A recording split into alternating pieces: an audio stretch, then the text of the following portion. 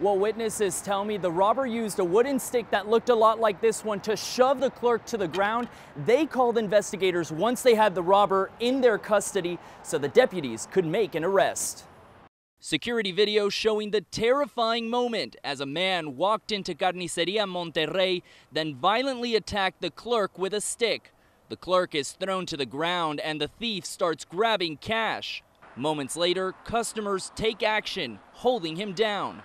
Investigators quickly swarmed the mini mart on Cleveland Avenue before making their arrest. Crime scene tape was put up and investigators were seen examining evidence inside the store. I talked to the man who was first to try and stop the robber from getting away. When I heard the noise, I turned over and saw him grab all the money. All the money he could grab, he did. That's when I had to act. I risked my life because anyone else would do it too. Well, the store manager tells me this isn't the first time that they've been robbed. And as for the clerk, we're told that she's still pretty shaken up, but doing okay. We're working to confirm with the Lee County Sheriff's Office the name of the man that they arrested. Count on us to let you know as soon as we find out. I'm live in Fort Myers tonight. Nestor Montoya, NBC2.